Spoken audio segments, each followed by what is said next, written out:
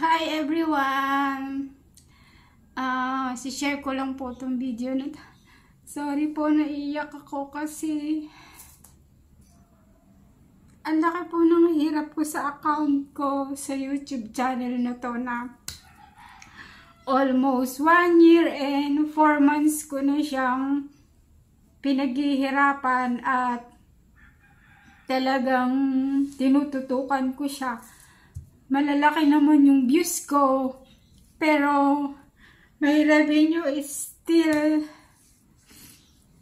na i-stack po yung aking revenue then uh, inano na po namin sa lahat ng pwedeng gawin. Bakit hindi po ako napapasukan ng bayad ng AdSense ko? Uh, almost 5 months hindi po gumagalaw yung revenue ko hindi ko alam kung bakit sayang yung pinaghirapan ko sa account na to na halos dalaw, magdadalawang taon na nga. Pero hindi po gumagana yung revenue, hindi ko alam kung bakit. Si Simple Casey na lagi nag-ayos ng channel ko. Pero hindi pa rin namin matrace kung bakit hindi nagko-continue yung ating revenue kasi dapat up and down yung revenue natin. Lahat na nakakausap ko, ganun yung revenue nila, up and down. But yung sa akin ay naka-stack lang siya. In 4 months, naka-stack lang siya. Lagi hindi siya pinapasukan ng kita ng ads.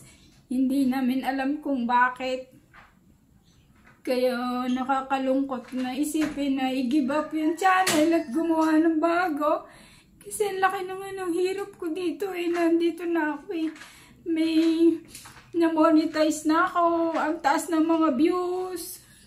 Ang laki na sana ng sinasahod ko.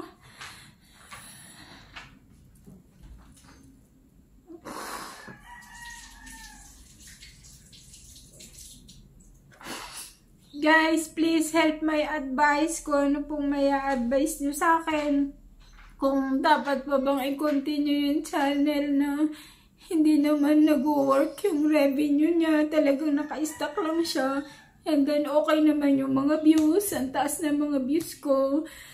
Pero, naka-stack lang siya in 4 months. Hindi na namin alam kung ano dapat gawin at kung ano naging problem ng channel ko. Please help me guys kung dapat ko bang i-give up tong channel na to at mag-start ako ulit na gumawa na lang ulit ng panibagong channel.